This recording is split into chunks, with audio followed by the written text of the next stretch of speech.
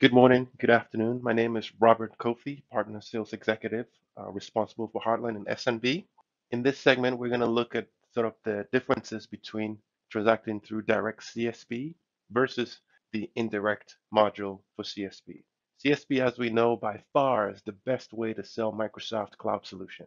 It empowers value-added services, drives multiple service sales motions, it increases trusted advisor status with partners, and it drives efficiency at scale through automation. There are two business modules that partners can transact through CSP.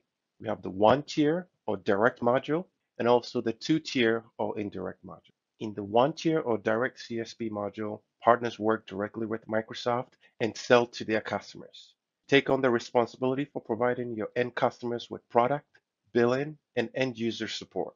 In the two tier or indirect module, partners work with the distribution partner just like you do today in the Disti reseller module it is important to note that we expect the vast majority of our partners to participate in the indirect CSP reseller module. Transacting through the indirect module allows you to start selling without any commitments, investments, or support or billing capabilities, while also benefiting from the capabilities provided by the distribution partner.